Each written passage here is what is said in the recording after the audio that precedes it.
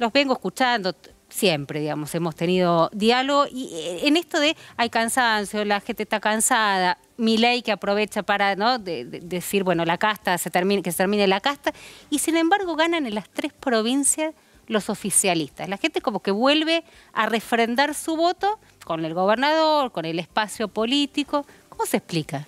Mira, yo creo que tiene una explicación. Una sencilla que dan los propios ganadores que dicen la gente está feliz. Yo no lo veo. Estuve en cada uno de esos lugares. Hoy estuvimos recorriendo Merlo, el Parque Ferroviario, la Feria Popular de Merlo, Barrio Libertad, es decir, alejado de las zonas céntricas. Ayer estuvimos en Lomas de Zamora. No se ve a la gente muy feliz. Se ven distintos estados de ánimo. Si querés, según a quién votaron, a quién van a votar, pero felicidad no se ve.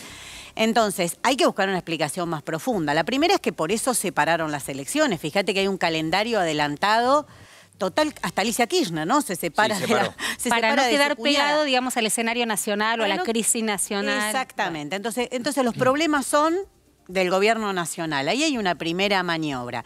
Segundo, es muy difícil, y eso lo decimos desde adentro, es muy difícil, sobre todo para las fuerzas independientes como nosotros, pelear contra esos megas aparatos. Dejan todo en las elecciones provinciales. Nosotros venimos de Jujuy, de dar una pelea enorme. Hicimos una elección muy, muy buena para la izquierda, la mejor a cargo ejecutivo del 83. Es decir, no estoy comparando eh, con algo menor. Pero es dificilísimo. Pensá que te tenés que imprimir hasta las boletas. Imagínense para una fuerza como nosotros, que no tenemos auspicio de grandes empresarios, que no tenemos gran apoyo mediático, salvo periodistas que nos dan un lugar a pura democracia, porque deciden darnos un lugar a nosotros en los medios.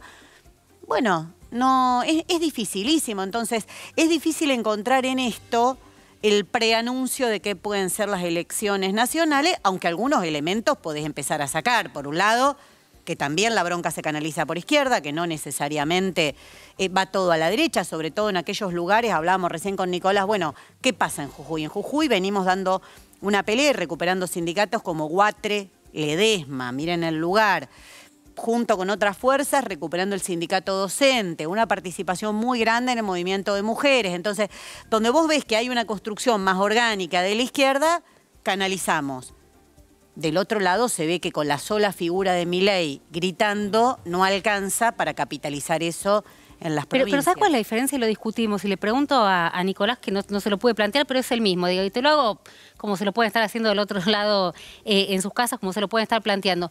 ¿Por qué de mi ley, sin estructura, digamos? ¿sí? Hasta ahora se conoce a la hermana Kikuchi, a no sé qué, a Karina Kikuchi, no sé, bueno. y los Menes Sí, bueno, sí, Mucho apoyo detrás. bueno, pero parecerían esos. ¿Por qué, digamos, logró generar la convicción del otro lado de que puede ser presidenciable y sin embargo la izquierda es como la utopía, porque deliramos con que no, este, o va a ser un voto porque no quiero votar a ellos, entonces voto a la izquierda, pero que nadie los ve presidenciales? No, a ver, yo veo, eh, no, lo veo así, sino que lo que creo es que Milei es un candidato que fue construido por el poder económico.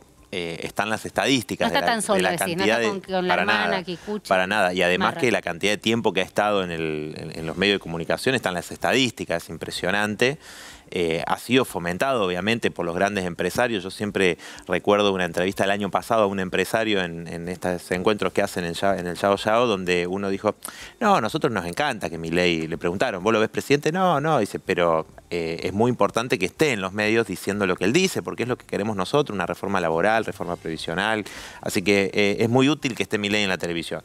Este, bueno, yo creo que tiene que ver con, con esa construcción y obviamente con que hay una desesperación de muchos sectores. Entonces cuando él dice dolarizar la economía va, a resolver el tema de la inflación, bueno, miente descaradamente porque eso significaría, eh, y, que, y que eso, digamos, esa dolarización va a mejorar los ingresos de los trabajadores, miente descaradamente porque eso implicaría una mega devaluación que haría que los, los salarios, las jubilaciones estén mucho más por debajo de lo que están hoy, digamos, o sea, perderían su poder adquisitivo enormemente, ¿no? Algunos calculan cinco o seis veces menos de poder adquisitivo. Entonces yo creo que eh, el punto es cómo construimos una fuerza de izquierda. Nosotros, la estructura nuestra es la estructura, digamos, de los trabajadores, de la juventud, de las mujeres que militan este, voluntariamente, de manera colectiva, por una salida a favor de las mayorías trabajadoras. se ve, digamos, presidencial, en, ese sentido, digo, ¿no? Y no quiero subestimar porque se escuché mucho con el tiempo que está mi ley en los medios. Digo, mi ley está en los medios que le permiten, digamos, canalizar su mensaje. Del otro lado, lo eligen o no eligen, digamos, comprar ese mensaje. Por supuesto, por supuesto te digo que hay una desesperación. No, yo creo que la izquierda, porque eso te decía Miriam, en Jujuy se vio que eh, la bronca también puede ir por izquierda y que se fue una elección ejecutiva. Es un buen ese, ¿no? La bronca por izquierda. no, y que fue una elección ejecutiva, digo, una elección a gobernador donde sacamos eh, cuatro o cinco veces más de cualquier otra elección de, gobernador Salta, en Jujuy. Pampa y Tierra del Fuego no pasó nada. No, en Salta... Familia tampoco, ¿eh? Digo, No, no, en Salta eh, la, izquierda allí más allá de que hubo un tema particular en la provincia de, mayor, de una cierta fragmentación que a nivel nacional no se da, este, la izquierda tuvo el doble de votos en una elección de gobernador de la que tuvo en, otras elecciones y vos sumás las distintas expresiones. Entonces, a lo que voy con esto, lo fundamental es el debate, la discusión que nosotros queremos plantear es que puede haber una, una, salida a favor de las mayorías, que es una necesidad, y para eso queremos construir una fuerza. Un voto a la izquierda, claramente, es un mensaje político de fortalecer una fuerza de laburantes para la, pelea que tenemos hoy y para lo que viene. Porque vos fíjate lo que dice... recién dijiste reforma laboral. ¿No hay que hacer algo con las leyes laborales para que sea mejor para el laburante? Sí. Digo, hoy la situación del laburo es horrible. Horrible. Mira, nosotros con... viene con la reforma laboral. Ojalá que alguien venga con la reforma laboral que nos venga bien a lo que laburamos. Bueno, mira, Miriam te, va a comentar la propuesta nuestra, que la recorrida que, hacemos en todos lados es algo eh, que se valora mucho la propuesta que nosotros hacemos, contraria a una reforma que flexibilice más a los trabajadores. No, porque se habla mucho de reforma laboral, habla la reta, hablan varios candidatos, el peronismo deja correr y por abajo te pasan todos los convenios flexibilizadores de una manera total, total dualización de la clase trabajadora, creando un estamento permanente de gente que solo vive de la asistencia del Estado y que, no le dan trabajo genuino. Es decir, hay una política muy, muy profunda. Nosotros decimos, discutir, sí, pero ¿para qué sentido?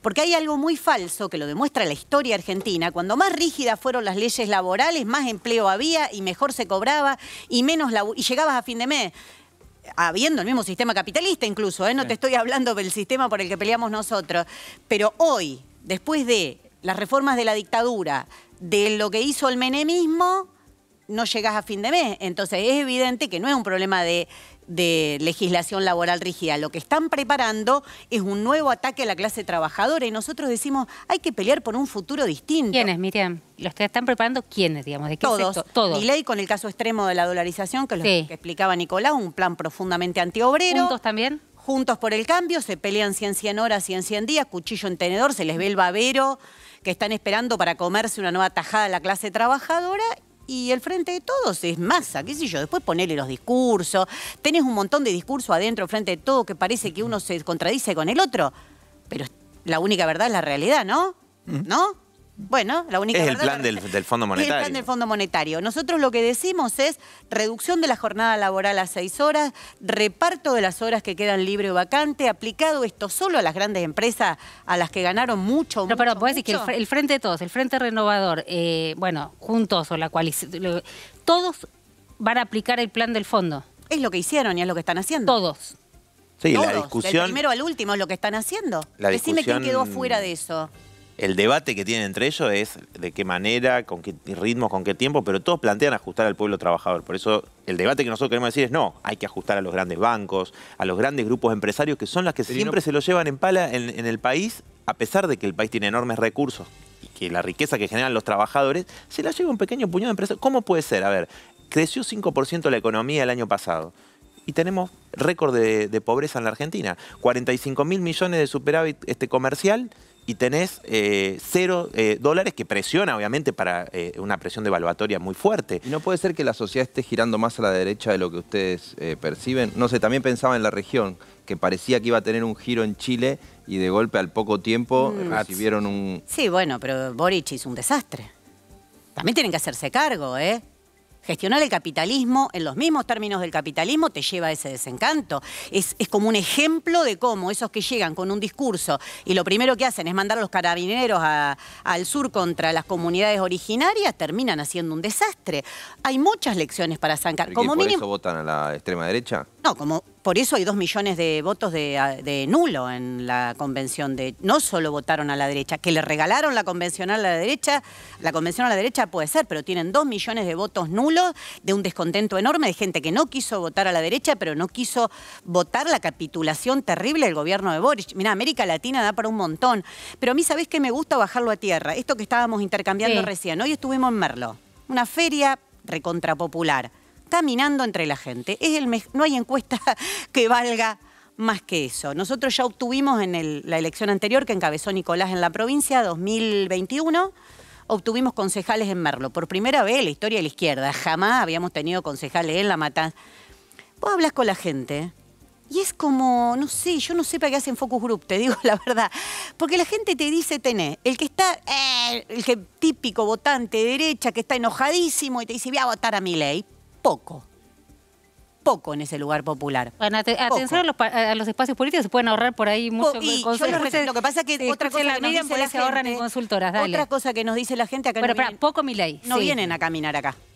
Lo primero que te reconocen es que vos vas, caminás, hablas con la gente, te reconocen, no todos coinciden con tus ideas, pero hay un reconocimiento que vos podés caminar entre la gente. Es raro que el reconocimiento sea que podés caminar entre la gente. ¿No te parece que hay mucho helicóptero en la campaña, mucho avión privado? Cada uno que viene acá y se sienta y dice, hoy estuve con una vecina más. pero van a hablar con sus propios hay un debate, hay un debate Yo te digo, no hablar con los míos. Yo con los míos te hago una reunión hermosa. Hay un debate real, digo, porque eh, además de estos sectores, hay un, descontento fuerte con el frente de todos. Y hay un debate real, por ahí lo que planteaba Jairo recién, o sea, sobre el tema de, bueno, la izquierda, ¿no? Y nosotros, el tema es que nuestra salida es una salida colectiva.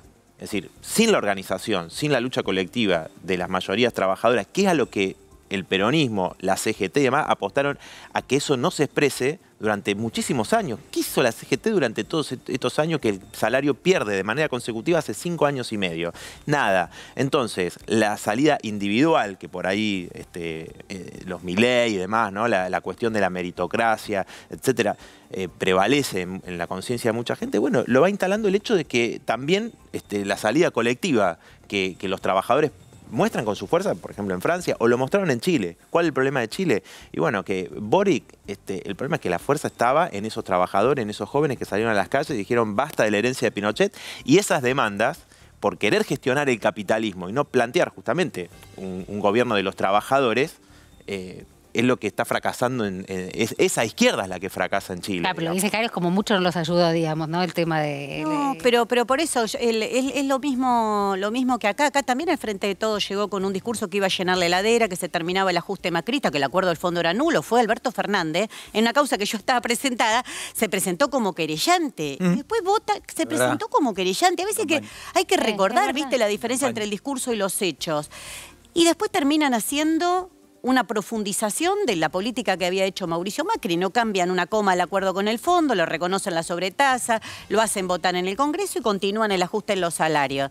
Entonces, hoy, una otra de las cosas que nos encontrábamos, dos. Una, Romina, te lo digo particularmente a vos, las mujeres no quieren más. O sea, se me acercaban particularmente, porque bueno, me conocen, me conocen la pelea que hemos dado, pero te dicen, ya acá gobernaron todos, probamos con todo. Hasta, ¿sabés qué te dicen? Yo la voté a Cristina creyendo que iba a cambiar algo y mirá lo que nos pasó. Entonces, hay conclusiones profundas que se están sacando. Ahora, hay todo un interés. como buscan los focus baratos, ¿viste? Y, está bien, está muy bien. pero es bastante efectivo, te digo. Muy bien. Porque en el 2021 las encuestas nos daban el 2%. Hicimos la mejor elección de nuestra historia. Entonces, si yo me guío por las encuestas, me quedo llorando en mi casa. Porque ahora todo el mundo de derecha, la izquierda no existe. Y viste y la verdad prometo que este, los libero pero no quiero no no quiero dejar de preguntarles esto que vos estabas planteando digamos no bueno digamos si se sinceran no aspiran digamos una a una presidencial. Cuál sería la mejor elección que pueden hacer ahora en octubre lo que pasa es que el avance de la izquierda o no no depende de de otra cosa que del avance de la movilización y de la organización Pero hoy los dos se van a dormir y dicen, a ver, lo, mejor que nos podría pasar, pedimos queremos hacer una elección mejor, inclusive la del 2021, que fue histórica, como decía Miriam, este, en lugares como Merlo, el Frente Izquierda sacó 10% de los votos, en La Matanza, en lugares donde son bastión el peronismo históricamente, o en la Ciudad de Buenos Aires, que hacía muchos años no teníamos una diputación, Miriam salió diputada nacional eh, con el 8% de los votos, y el fenómeno de Vilca en Jujuy. pero eso tiene que ver con también con, mejorar la- con un, o sea, res- un respeto y una, del- y una, a ver, una valoración de estar en cada una de esas luchas, en cada una de esas peleas. Eso es lo que nos decían hoy. Ustedes están siempre con los laburantes, están siempre en las, en las peleas. Y nosotros tratamos de involucrar a toda esa gente, bueno, hacer una gran fuerza de la clase trabajadora, que es lo que necesitamos, te digo, para enfrentar lo actual y lo que se viene. Y yo creo que eh, hacer una gran elección es la mejor forma de prepararse para lo que se viene, una buena elección de la izquierda, la gente sabe, ¿no? Quién está apoyando, quién quiere organizar y fortalecer esa pelea contra los que te dicen vamos a despedir a miles de trabajadores, privatizar, vamos a aplicar la reforma laboral, lo que decía recién, ¿no? Que te dicen, no, las leyes laborales son antiguas. Bueno, pero la jornada laboral está desde 1929, la semana laboral este, más extensa de la región de América Latina. Ah, no, ahí no está el problema de, de leyes anticuadas. Está, está ¿no? bueno, digamos, no, no un voto perdido, sino un voto como mensaje No, es político. al revés. Está bien. Es al revés. No es lo mismo si la izquierda hace una buena elección. Una izquierda que te dice que el acuerdo con el fondo es nulo, que es un fraude histórico y que lo está pagando con el hambre del pueblo. Que no tenés por qué tener tres laburos para llegar a fin de mes, sino que podemos pelear por un futuro totalmente distinto. Que no hay que naturalizar que los pibes hoy no tienen jamás un trabajo estable, sin aguinaldo, sin derecho. Yo creo que eso es mucho más que el resultado de una elección. Es decir, bueno, todos ustedes tiran para que se derechice la agenda política, para pasar el ajuste, para poner un monstruo como Milei para que los demás no te parezcan tan malos, porque no tiene otro secreto. Exagerar a Milei como lo exagera Juntos por el Cambio, como lo exagera el peronismo que lo ponen ahí arriba, es bueno, yo después te meto un masa, que es el que te está haciendo el ajuste, y capaz que no te parece tan malo, ¿no? Bueno, sí, el mal menor también es un mal, ¿no? Por definición, el mal menor es un mal. Decir que no queremos seguir en esa dicotomía, que en esa dicotomía llegamos hasta acá, un 40% de pobreza, me parece que es más que una elección lo que se está jugando. Se está jugando una idea que la izquierda es la única que puede pelear un futuro.